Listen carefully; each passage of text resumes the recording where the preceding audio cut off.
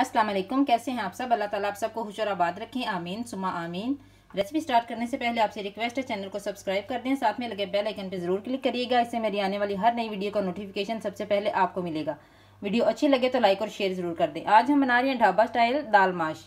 जिसके लिए यहाँ पे एक कप दाल है माश की, जिसको मैंने भिगो दिया था दो घंटे के लिए, धो के मैंने वो ले लिया है। दो प्याज हैं जिनको चॉप कर लिया अदरक लहसुन का पेस्ट है, एक टेबल स्पून दो दो टमाटर हैं, दो दो हरी मिर्ची हैं। हल्दी है यहाँ पे, लाल मिर्च पाउडर है, धनिया पाउडर, गरम मसाला पाउडर, जीरा एक टीस्पून, नमक, ये ड्राई मसाले आप अपनी मर्ज़ी से कम या ज़्यादा ले सकते हैं। ऑयल हाफ़ कप से थोड़ा सा ज़्यादा जाएगा इसमें तो इसको बनाना स्टार्ट करते हैं।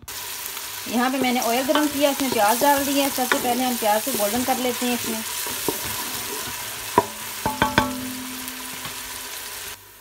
प्याज गोल्डन हो चुकी है, इसमें हम अदरक लहसुन डाल देते हैं। इसको चलाते हैं एक मिनट के लिए।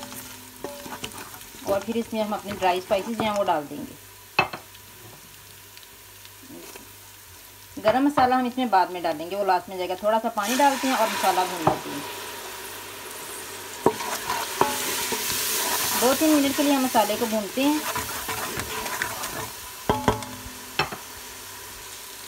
अब हम इसमें टमाटर और हरी मिर्च डाल देते हैं। इसको चलाते हैं ज़रा सा एक दो मिनट के लिए। फिर हम इसे कवर कर देंगे, ताकि टमाटर जो है वो सॉफ्ट हो जाए। इसे अब हम कवर करके पका लेते हैं। टमाटर सॉफ्ट हो चुके हैं, अब हम अच्छी तरह से मसाला भून लेते हैं।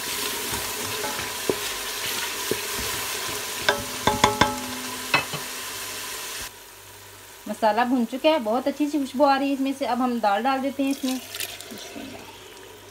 इसे मिक्स करते हैं। थोड़ा सा इसमें पानी डालेंगे। पानी इतना डालेंगे जिसमें दाल गल जाए। आप अपने हिसाब से पानी डालिएगा, जितने पानी में आपको लगे दाल गल जाएगी।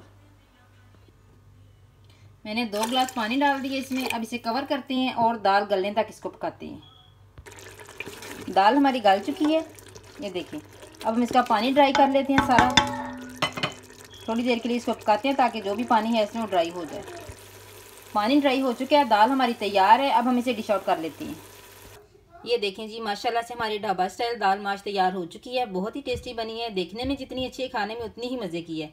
आप भी रेसिपी ज़रूर ट्राई करिए। अगर वीडियो अच्छी लगी हो तो लाइक शेयर सब्सक्राइब ज़रूर करिएगा। दुआ में याद रखिएगा। थैंक यू अल्लाह हाफिज़।